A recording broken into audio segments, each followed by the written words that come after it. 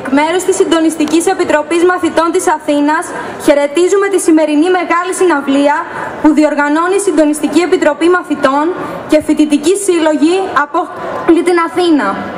Εμείς οι μαθητές, από την πρώτη στιγμή που μάθαμε για την επίσκεψη του Αμερικανού Υπουργού Εξωτερικών Πομπέο, μαζέψαμε εκατοντάδες υπογραφές από τους συμμαθητές μας, ενημερώσαμε τις τάξεις και τα σχολεία μας με την ανακοίνωση της Συντονιστικής.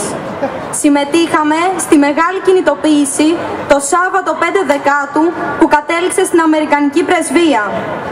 Τα κάναμε όλα αυτά γιατί θέλουμε να γίνει πιο γνωστή η ουσία της συμφωνίας που υπέγραψαν η Ελλάδα και η ΙΠΑ ή αλλιώς η συμφωνία για τις βάσεις του θανάτου.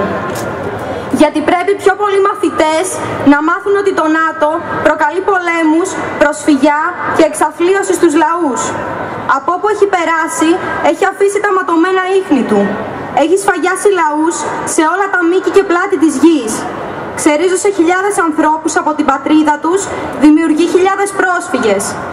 Γιατί πρέπει πιο πολλοί μαθητές να μάθουν ότι η υπογραφή αυτής της συμφωνίας σημαίνει ότι η χώρα μας είναι ακόμα περισσότερο συνένοχη σε αυτά τα εγκλήματα.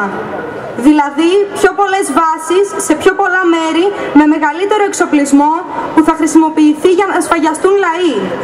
Γιατί πρέπει πιο πολλοί μαθητές να μάθουν ότι την ίδια ώρα για τα προβλήματα και τις ελλείψεις στα σχολεία μας, τα οποία αντιμετωπίζουμε για ακόμα μία χρονιά και είναι τεράστια, μας λένε τα ίδια ψέματα.